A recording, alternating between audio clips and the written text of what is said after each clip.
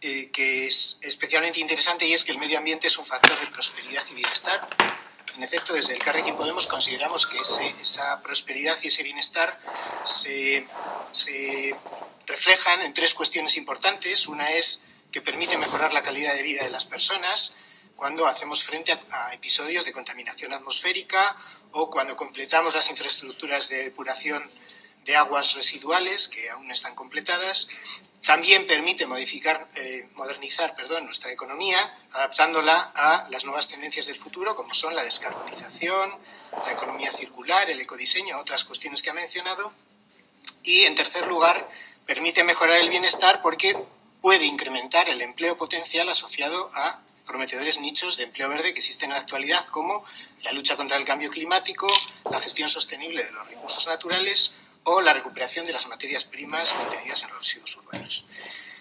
Pero, eh, incluso compartiendo ese diagnóstico, entendemos que los planes que nos ha mostrado aquí son bastante contradictorios con ese espíritu general que ha querido, que ha querido introducir, eh, porque nos ha hablado, eh, por ejemplo, de que hay que mejorar las políticas de educación medioambiental. Eso es cierto, y usted ha dicho, eso esto exige colaboración activa de las organizaciones sociales.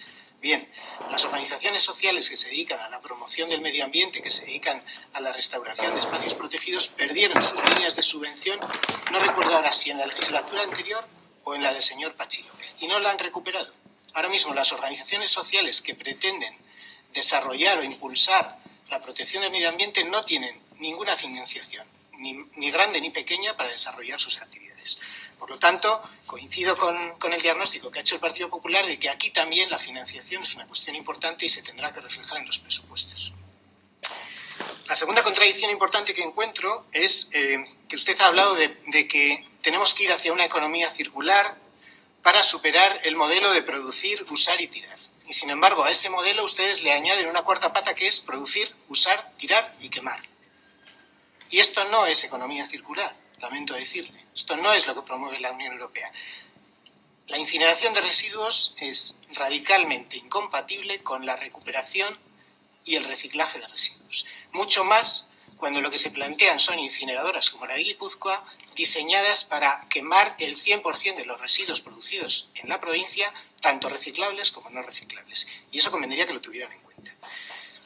Otra contradicción importante es que dicen que van a impulsar una economía baja en carbono. Bien, la incineradora de Zabalgarbi en Vizcaya es el segundo mayor foco emisor de CO2 de Euskadi y la incineradora de Zubieta se convertirá en uno de los cinco primeros. Si a eso le sumamos que la política energética del gobierno en el que se encuentran está basada en el gas natural como energía de transición, ya me dirá usted cómo pretende alcanzar, por un lado, un 20% de utilización de energías renovables, como se plantea en su acuerdo de gobierno, o la reducción de las emisiones de CO2 en un 20%. Es completamente imposible teniendo esas políticas. Y en tercer lugar, y de una contradicción importante, ustedes hablan de eh, mejorar la calidad del medio natural, hablan tanto de la contaminación de las aguas y del saneamiento de los vertidos, como de potenciar, mejorar la calidad del aire, la calidad del aire y hablan de la red de calidad del aire de la Comunidad Autónoma Vasca. Ha hablado usted de adaptar las actividades contaminadoras de la atmósfera a las mejores técnicas disponibles. Bien, la semana pasada han tenido una oportunidad, ya estando ustedes en el gobierno, de demostrar eh, que ese espíritu es así. yo le voy a enseñar una foto y le pediría que me dijera si esta actividad a la que ustedes han dado, a la que el gobierno ha dado eh, todos los permisos si cree que está adaptada a las mejores técnicas disponibles para no contaminar la atmósfera. Porque aquí hay una cuestión importante y es que el tema de la calidad del aire, igual que el tema de la calidad del agua, no nos interpela solamente a la protección del medio ambiente, sino la de la salud de las personas.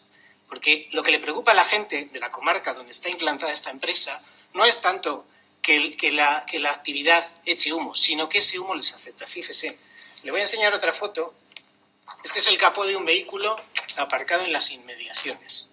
Como puede ver, está completamente lleno de ceniza. Este vehículo es un vehículo muy especial.